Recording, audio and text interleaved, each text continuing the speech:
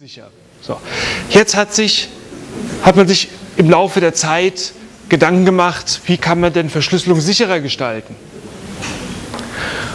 Und eine mögliche Verschlüsselung ist die Vigenère-Verschlüsselung,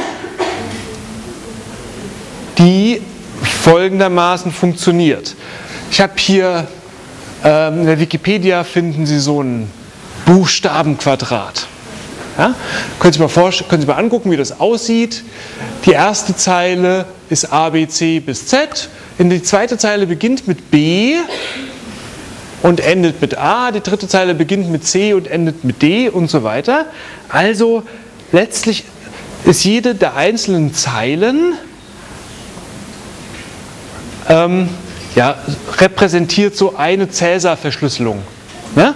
Wenn ich zu A 2 dazu addiere, also wenn mein Key 2 wäre, komme ich zu C. Und dann bin ich der zweiten Zeile hier, also nullte, erste, zweite Zeile. Und damit habe ich hier die Zuordnung der Klartextbuchstaben zu den Geheimbuchstaben bei der Cäsar-Verschlüsselung mit K gleich 2. Hier ist K gleich 3, K gleich 4, also immer diese Verschiebung um 1. Das hat man hier so dargestellt, einfach um übersichtlich sich das zum einen äh, ja, nochmal übersichtlich darzustellen, zum anderen, um ein weiteres Verschlüsselungsverfahren zu verwenden, nämlich die Vigenère-Verschlüsselung. Die funktioniert folgendermaßen. Der Schlüssel, das Geheimnis, das Alice und Bob haben, das ist jetzt nicht mehr eine einzige Zahl, sondern mehrere Zahlen.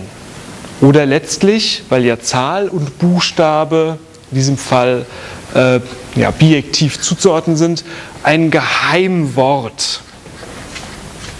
Also, wir wollen verschlüsseln, ich liebe dich. Ne? Wieder alter Text.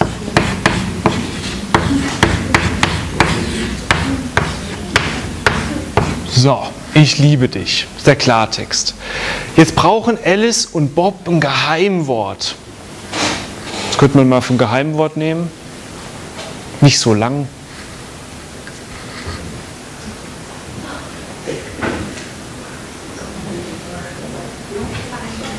Hm?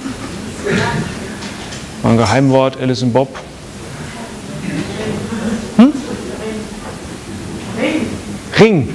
Ring, genau. Ring ist das Geheimwort. Ja? So, ich liebe dich und Ring ist das Geheimwort. So, was macht Alice jetzt, um die Nachricht zu verschlüsseln? Sie schreibt über den Klartext das Geheimwort so lange, bis der Klartext fertig ist. Ja? Also, Ring, Ring. Zwischendurch geht sie zur Tür, weil sie denkt, es hat geklingelt. Ring, Ring, Ring. Okay, zufällig jetzt endet das Ne? Zufällig ist die Anzahl der Buchstaben Ich liebe dich ein Vielfaches von vier, aber muss ja nicht so sein, dann, dann hört man halt früher auf. Ne? Man schreibt so oft drüber, bis man fertig ist. So. Jetzt macht man das folgende. Der Buchstabe in dem Geheimwort, im Schlüssel, gibt die Zeile an. Der Buchstabe im Klartext die Spalte. Das resultierende Geheimwort, der resultierende Geheimwortbuchstabe ist das Element, das in der entsprechenden Zeile und Spalte steht. Also, wir gucken in die Zeile R. Und wir wollen I verschlüsseln. Schauen in die Zeile I, in die Spalte I. Die ist hier oben. Ne? Also R und I treffen sich, glaube ich, hier im Z. Ne? Zeile R die Maus hängt ein bisschen. Spalte I trifft man sich in Z. Also R und I wird zu Z. Jetzt Ring. Als nächstes kommt I als Zeile, C als Spalte. Also die I-te Zeile und die C-te Spalte, naja, da kommen wir hier raus bei K. I, C kommen wir bei K raus. N und H, N und H kommt man bei U raus. G und L Also G, Zeile G, Spalte L, kommt man bei R raus. Und so weiter und so weiter. Letztlich hat man also das folgende mit dem, mit dem, mit dem Wort, Schlüsselwort Key, äh, Ring, mit dem Schlüsselwort Ring, hat man vier Cäsar-Verschlüsselungen, die man immer nacheinander durchführt. Ja? Ich weiß jetzt nicht, der wievielte Buchstabe R ist. Können wir kurz zählen. 0, 1, 2, 3, 4, 5, 6, 7, 8, 9, 10, 11, 12, 13, 14, 15, 16, 17. R ist die 17. Ne? Das heißt, immer wenn R kommt, verschiebe ich um 17 nach rechts. Immer wenn I kommt, verschiebe ich um 0, 1, 2, 3, 4, 5, 6, 7, 8 nach rechts und so weiter und so weiter. Ja? Das heißt, ich wechsle mich mit den Verschiebe Abständen immer ab, regelmäßig aber. Ne? Das ist jetzt schon relativ schwierig rauszukriegen, weil nicht jeder Buchstabe resultiert immer im selben Zielbuchstaben. Das ist natürlich jetzt ein super Beispiel, ne, weil hier das R und das I wieder zufällig übereinander stehen. Aber es ist natürlich denkbar, dass hier bei einem I mal ein anderer Buchstabe drüber steht, wie zum Beispiel hier. Ne? Wenn ich hier dieses I hier verschlüssele mit dem I drüber, muss ich in die I-te Zeile gucken und die I-te Spalte, dann bin ich hier, dann kommt Q raus.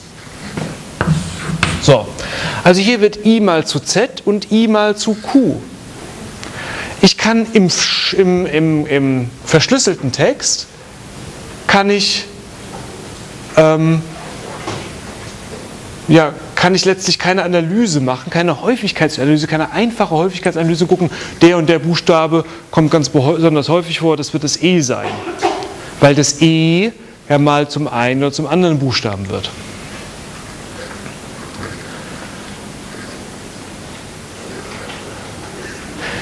Diese Verschlüsselungsform galt relativ lange als sicher. Achso, wenn wir uns überlegen, was macht Bob, oder? Was macht Bob, wenn er die Geheimbotschaft hat? Hm. Ja? Ja, wenn er das Wort weiß, dann muss er am ersten zum Beispiel bei R in der Zeile gucken und dann zum Z gehen und dann hochgehen und gucken, was ist von oben. Achso, ja, das ist eine Möglichkeit. Ne? Ich gucke in der Zeile mit Z, äh, Quatsch. Wo gucken Sie? In der Zeile mit R wo ist es Z und dann gehen sie nach oben und dann kriegen sie, genau. Ja, das ist eine Möglichkeit. Ne? Also das heißt, wenn ich das Wort kenne, kann ich den Prozess auch wieder rückgängig machen. So, okay. So. Trotzdem ist das Verfahren heute mittlerweile unsicher. Denn man kann durch geschickte Häufigkeitsanalysen, man rechnet da Korrelationen etc. pp, kriegt man tatsächlich durch ja, komplexere Rechnungen, kann man dieses Verfahren entschlüsseln. Ja? Sie haben eine, eine Regelmäßigkeit, die Sie verwenden und durch diese Regelmäßigkeit, diesen, diesen Geheimschlüssel, diese Regelmäßigkeit verbunden mit den Häufigkeiten im Alphabet und so weiter, zu regelmäßig für Computer. Ja, sie, sie kommen auf, sie kriegen es raus. Ja, das heißt, das Verfahren ist nicht wirklich sicher. Vielleicht noch ein Begriff zur Unterscheidung. Ähm, dieses Verfahren nennt man polyalphabetische Substitution oder ist eine Möglichkeit der polyalphabetischen Substitution, weil sie mehrere Alphabete verwenden. Ja? Sie haben hier mehrere Alphabete jeweils durch die Zeilen voneinander unterschieden und Sie wählen sich jeweils eines dieser Alphabete aus im entsprechenden Fall. Während die Cäsar-Verschlüsselung vorher monoalphabetisch war. Sie haben ein einziges Alphabet, ja, mit dessen Hilfe Sie verschlüsseln. So, das heißt, die Verfahren, die wir jetzt hier kennengelernt haben, die Cäsar-Verschlüsselung, die Vigenère-Verschlüsselung, die sind alle nicht sicher. Insbesondere mit Computerunterstützung kriegt man die Botschaften entschlüsselt. Bei Ich liebe dich ist das jetzt vielleicht nicht ganz so tragisch, aber bei Online-Banking ist es tragisch. Ja? Oder bei sonstigen Geheimbotschaften, die übers Internet verschlüsselt werden, äh, verschickt werden. So. Oder häufig ist es auch so, diese ganzen Verschlüsselungsgeschichten, die wurden natürlich in Kriegssituationen stark genutzt. Ne? Sie müssen jetzt vorstellen, Sie sind irgendwo, keine Ahnung, Kommandozentrale an irgendeinem Ort und dann haben Sie irgendwo kämpfende Truppen an einem anderen Ort und denen wollen Sie eine Geheimbotschaft übermitteln bezüglich der Kriegsstrategie. Ist natürlich dumm, wenn die der Feind rauskriegt.